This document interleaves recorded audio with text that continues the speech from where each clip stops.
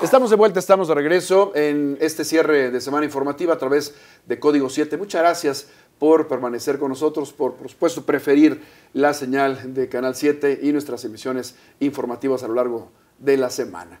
Vamos ahora con una invitada también muy especial para hablar de, un tema que ha sido, eh, por supuesto, algo que, ha llamado la atención no solamente en los últimos meses, sino durante los últimos tiempos, los últimos años en cuanto a la paridad de género y la, y la violencia hacia la mujer. Estamos con Erika Velázquez, titular del Instituto de las Mujeres del Estado. Erika, siempre bienvenida, ¿cómo estás? Muchas gracias, buenas noches, gracias por la invitación, de verdad que gusto saludarles. Bienvenida, Erika. Siempre, siempre bienvenida. Y, y, retomamos este tema, Erika nos ha acompañado ya en diferentes, en diferentes espacios en, en Código 7, hablando prácticamente de, datos que ahora tal vez toquemos, pero que se han elevado, Erika, en, número, tal vez en, cuestión de, violencia y en trabajo en favor de la paridad de género. Háblame un poco, háblanos, platícanos, compártenos un poco de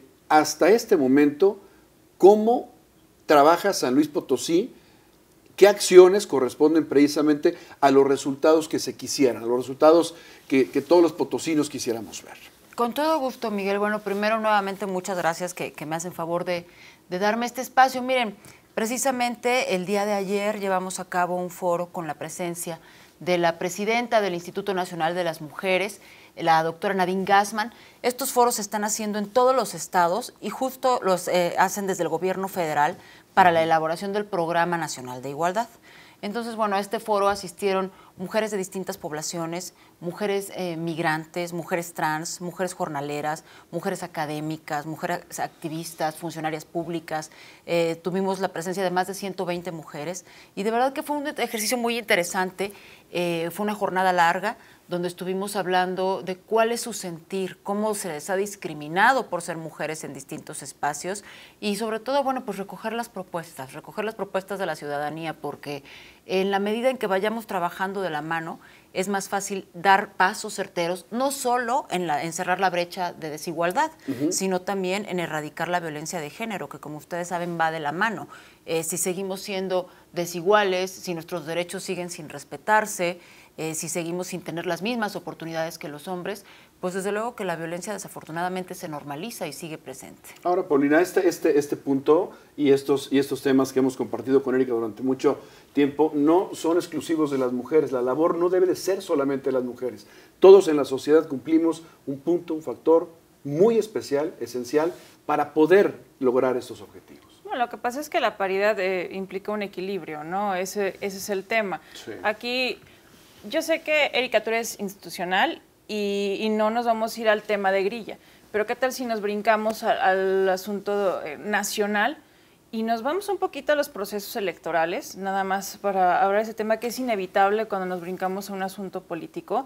¿Y cómo se dice, por ejemplo, que parece que en el proceso de 2018 y eran como 50 candidaturas y, creo que eran apenas un poquito más de 10, creo que eran 11 las mujeres que estuvieron contendiendo.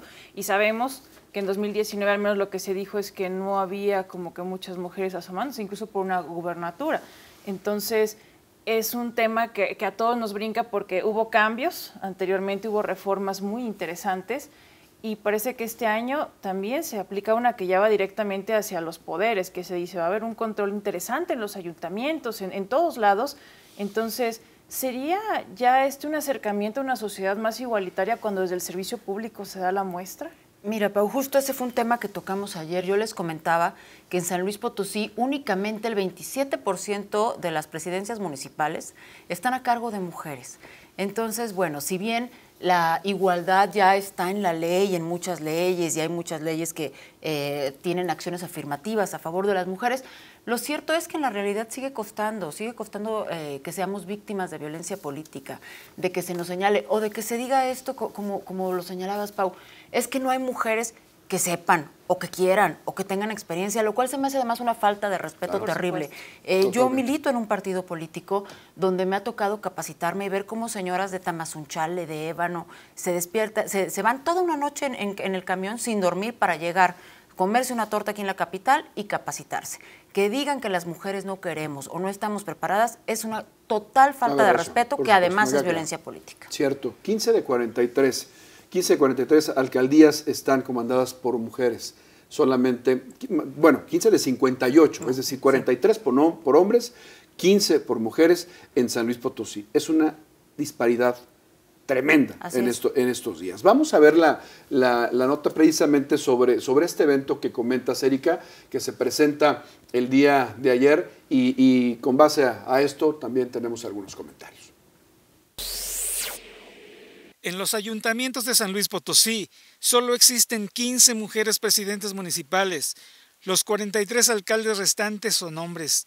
Esto significa que la paridad de género no ha podido cumplirse en la administración pública municipal, denunció la coordinadora de la organización Creasol, Michelle Villanueva Moreno, entrevistada en el marco del foro Caminos para la Igualdad. En las presidencias municipales en el estado de San Luis Potosí tenemos una participación de 15 mujeres y 44 varones. Tenemos un 25% de mujeres sobre el 75% de varones.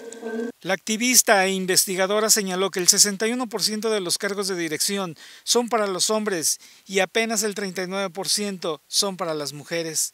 Y entonces estamos, observamos, por ejemplo, que en total tenemos 452 eh, hombres que son titulares de las dependencias municipales sobre 294 que son mujeres, es decir, del 61% de hombres sobre 39% eh, de mujeres. Eh, Se mencionó que los resultados arrojados durante la investigación demuestran que existen municipios donde no hay participación de las mujeres en las direcciones y secretarías. Este es el caso de San Ciro de Acosta. Es el espacio del de, em, municipio de San Ciro Acosta, ¿no? donde no hay ninguna mujer que es titular de las dependencias. Entonces ahí todavía hay mucho trabajo que se tiene que estar realizando a nivel municipal para que podamos garantizar eh, que la paridad en todo sea un ejercicio real. La investigadora habló de la importancia de los gobiernos municipales de involucrarse en el trazo de estrategias que garanticen los derechos y paridad de puestos en la toma de decisiones.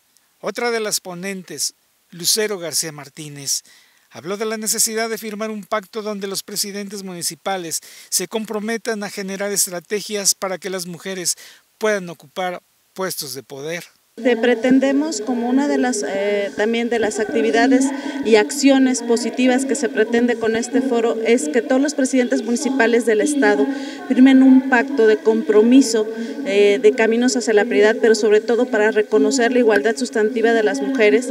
Entre los puntos más importantes de ese pacto está el de poder proporcionarle a todas las instancias municipales toda la infraestructura que se requiere para que las instancias puedan funcionar al y Participó en el foro la diputada Beatriz Eugenia Benavente Rodríguez, investigadoras de la Universidad Autónoma de San Luis Potosí y mujeres funcionarias de varios ayuntamientos. Humberto Alonso y José Luis Juárez Díaz, Noticieros Canal 7. Erika Velázquez, este no fue el único evento que se ha dado esta, esta semana, fueron algunos que tienen correlación, ¿no? Así es. En este evento justo que vimos también tuvo presencia el Instituto de las Mujeres. Fue un evento organizado por algunas feministas de Querétaro, donde se invitó a la diputada Benavente y algunas otras eh, activistas. Incluso estuvo la doctora Urenda Navarro, eh, que estuvo simultáneamente en los dos eventos. Estuvo muy movido el día de ayer. Nosotras tuvimos también el evento con la doctora Nadine Gassman, presidenta de Mujeres, donde también invitamos a las mujeres que les comentaba de todas las poblaciones. Y eh, uno de esos los temas que se tocó fue justo este este, el de la participación política de las mujeres, las desigualdades que se siguen viviendo y bueno, las propuestas, ¿qué hacemos? ¿Qué vamos a hacer si ya está en la ley y aún así sigue costando? Pues, ¿qué vamos a hacer para que el costo ya no sea la violencia política? Ese es un tema muy importante que, digo, prácticamente va, va unido, ¿no? Y, nos preocupa demasiado. Hacemos una pausa para llegar a nuestro bloque final, para seguir tratando este, este tema de paridad y, por supuesto, eh, los reflejos que, se presentan en la, en, la, en la casa, en la familia, en el trabajo en cuanto a violencia. Esto es disparidad, es completamente opuesto a lo que quisiéramos que permeara en San Luis Potosí. Vamos a una pausa.